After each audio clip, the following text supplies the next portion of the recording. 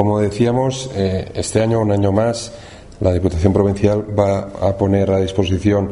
de esos ayuntamientos que año tras año realizan promociones de esos productos locales de suma importancia, que este año van a ser siete, pues como decía, vamos a poner 45.000 euros que seguro que van a redondar en beneficio de, nuestros productores de, de, la provincia de Castellón. Bien es conocido, la Diputación está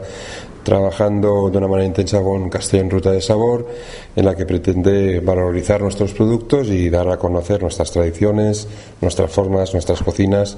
nuestra forma de cocinar y en definitiva pues bueno es una apuesta más de la Diputación con nuestro territorio y nuestros productos.